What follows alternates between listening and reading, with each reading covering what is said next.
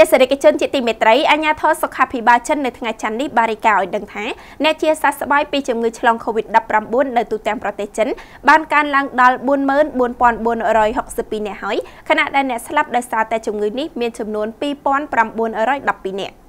អញ្ញាធរសុខាភិបាលចិននាថ្ងៃច័ន្ទសប្តាហ៍នេះបានរាយការណ៍ឲ្យដឹងថាតួលេខសរុបនៃអ្នកជំងឺដែលបានជាសះស្បើយពី COVID-19 នៅទូទាំងប្រទេសចិនបានកើនឡើងដល់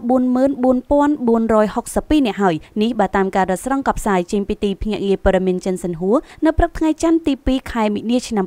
2020របាយការណ៍ប្រចាំថ្ងៃរបស់គណៈកម្មការសុខាភិបាលជាតិចិនបានឲ្យដឹងទៀតថានារយៈពេលពេញមួយថ្ងៃអាទិត្យមនុស្សចំនួន2837នាក់ទៀតបានចាកចេញពីមន្ទីរពេទ្យក្រោយពួកគេបានជាសះស្បើយឡើងវិញដល់ឡែកករណីឆ្លងថ្មីនាថ្ងៃដដែលនោះដែលមានត្រឹមតែ202នាក់ខណៈចំនួនអ្នកស្លាប់គឺ42នាក់គូជំរាបថាបើតាមរបាយការណ៍ថ្មីនៅព្រឹកថ្ងៃសៅរ៍ចំនួនសរុបនៃអ្នកឆ្លងជំងឺ Covid-19 នៅតាមបណ្ដាខេត្តនិងតំបន់ចំនួន31នៃប្រទេសចិនបានកើនដល់80026ករណីដោយក្នុងនោះចំនួនអ្នកស្លាប់បានកើនដល់2912នាក់ប៉ុន្តែខេត្តហូប៉ៃរ៉ាប់រងស្ទើរតែទាំងអស់នៃករណីទាំងនេះ